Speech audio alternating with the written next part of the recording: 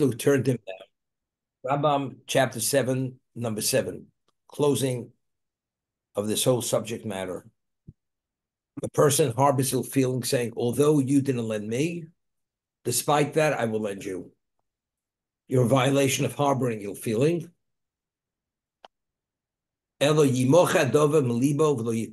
You should totally erase it from your heart and do not withhold that feeling, the negative feeling.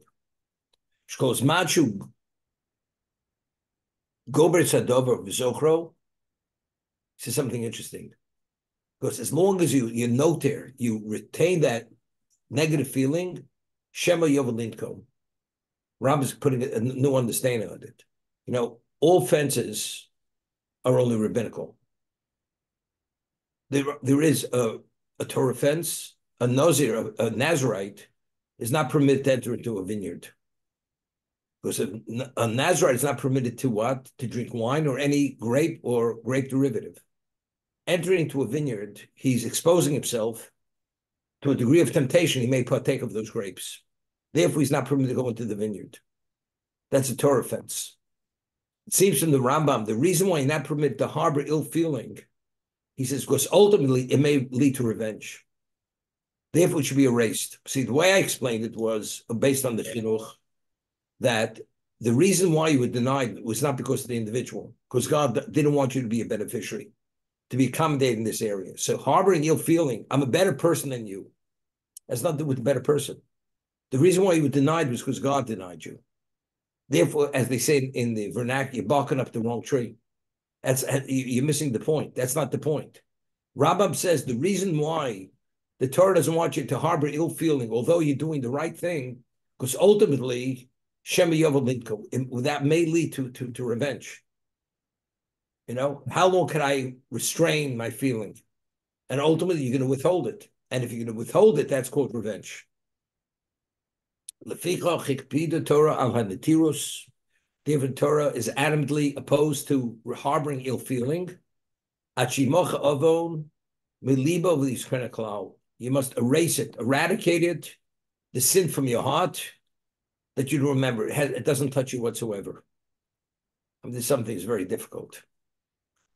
You know, what happens if you don't express it? Let's say you give it to him and say, I'm more than happy to give it to you. You give it to him with a smile. But factually, in your heart, you're still harboring ill feeling, saying, I'm going to do the right thing despite. Despite the man doesn't deserve it, I'm going to do the right thing but you have that negative feeling in your in your heart. I mean, so are you in violation? I mean, factually, you are harboring ill feeling, even though you didn't verbalize it.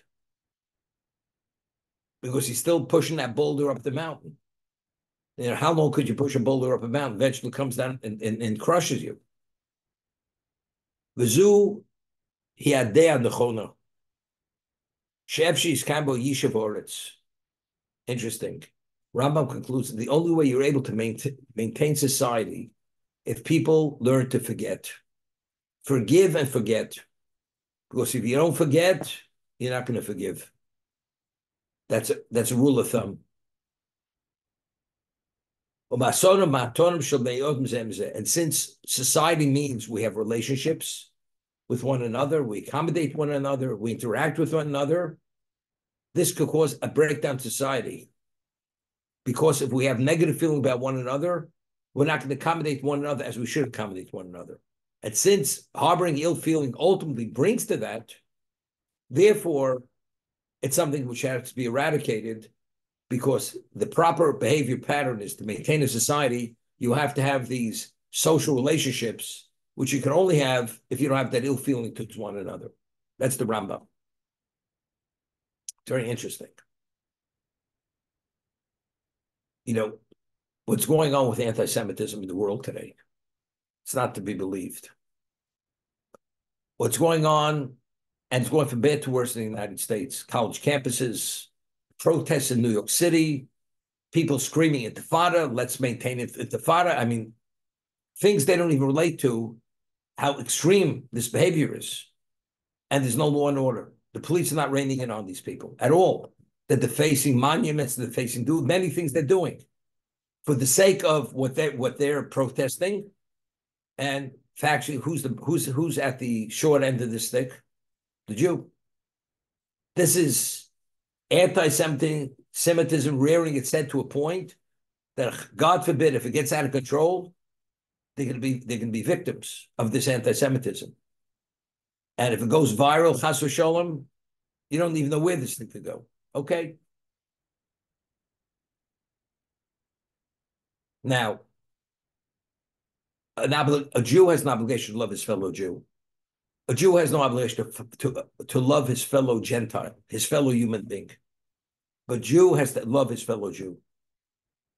And whether Gentile loves us or not, it's totally irrelevant. Of course, we should maintain a good relationship with them. That would be a Kiddush Hashem, sanctifying God's name. They'll appreciate who we are, what we are, the way we behave, what we contribute. Fine, that's great. But if they don't, it's okay. Because what is Jewish society? Jewish society is it's with contained within Jewish society. What we're talking about is you cannot have a society unless you have human relationships.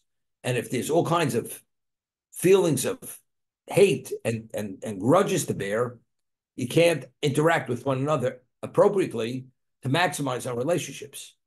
But where does God want those relationships, relationships to be maximized? Within the Jewish community. That's what it's about.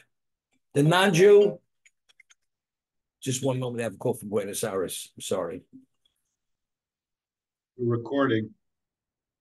Hello. That that the Jew doesn't intermingle in Gentile society, God has no problem with that. We find very interesting, until Yaakov fathered the 12 tribes, the patriarchs were involved, very involved in outreach. Once the 12 tribes were established, Yaakov's main focus was his family. Why? Because all the energy to the world is generated from the Jewish people. Based on what the way we behave and the way we act and interact, we generate a level of purity to the world. It's like you have smog, and if a wind comes and blows out the smog, everybody is able to see. Everybody, everybody's able to inhale healthy air. That's the job of the Jew. The light unto the nations is we have to generate a beacon of light that the nations the world, the world sees what truth is. But if we ourselves are dim and we're turning down the intensity of that light, that's only an indication where we're at. So we have to gird and strengthen, shore up whatever who we are. Have another call from Israel. Okay. So it's interesting. So the reason why we have to behave appropriately with one another is because we have to maintain a healthy, cohesive, supportive society among ourselves. We have to be there for one another. We have to pray for one another. We have to assist one another.